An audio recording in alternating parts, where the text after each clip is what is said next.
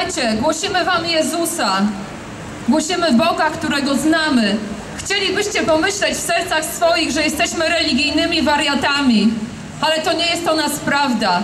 Głosimy Wam Boga, którego znamy, Boga, który działa w naszym życiu. Jezusa, który umarł na krzyżu za nas i za Was. Jesteśmy tacy jak Wy. Pracujemy, kończymy studia, mamy mężów, żony, rodziny.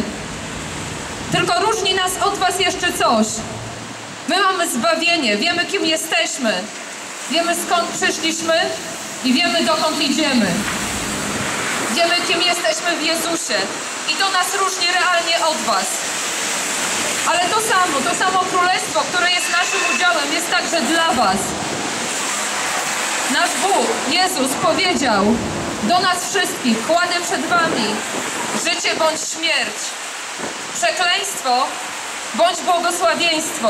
I tutaj my musimy dokonać wyboru. Musimy dokonać wyboru, czy uwierzymy w Jezusa, czy nie.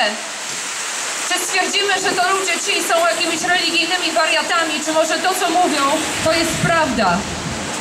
Jezus, którego ja przyjęłam do swojego życia, ten Jezus podniósł moje życie. Ja skończyłam Wydział Prawa na tym uniwersytecie.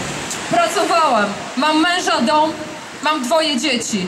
Finansowo mi niczego nie brakuje. Mam się lepiej niż większość od Was.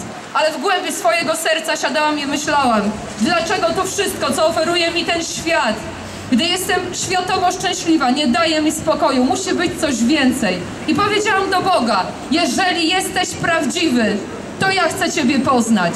Chcę poznać Ciebie, Jezus.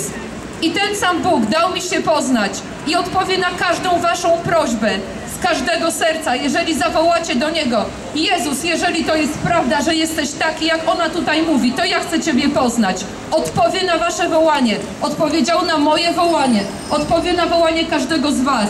Miałam guza w piersi. Po ludzku to jest strach i jakiś wyrok, tak? I pomodlili się o mnie ludzie. Ja byłam wtedy bardzo krótko wierzącą osobą. I zostałam uzdrowiona z tego guza. Mam na to dokumenty. Mam USG, gdzie miałam guza i mam USG, gdzie tego guza nie było. Nie była to jakaś torbiel czy włókniak. Mam potwierdzone, że był to guz. Nowotworowa zmiana. Uzdrowił mnie Jezus. Takich uzdrowień jest mnóstwo. Całe moje życie zostało podniesione. Całe moje małżeństwo. Sposób, w jaki wychowuję dzieci. Prawda Boża to nie jest slogan w moim życiu, to działa. W każde miejsce swojego życia, jeżeli przychodzę z Bożą prawdą, one jest podnoszone.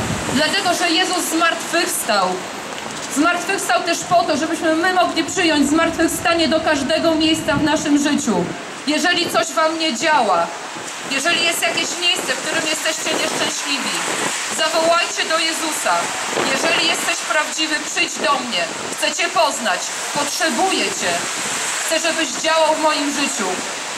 Jezus to nie jest religia, Jezus to nie Boże Narodzenie, to nie Kościół. On powiedział, że nie mieszka w kościołach ludzką ręką wybudowanych.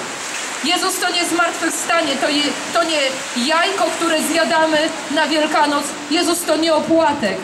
Jezus to jest Bóg, to jest relacja. To jest Ojciec, który zaprasza dzieci do relacji. I powiedział, że ten, kto swoimi ustami wyzna, że Jezus jest Panem i uwierzy w sercu swoim, tego będzie królestwo. Nie możecie na nie zasłużyć. Ten, który umarł obok Jezusa na krzyżu, nie zasłużył na królestwo, ale uwierzył w Jezusa. Królestwo jest udziałem tych, którzy wierzą w Jezusa.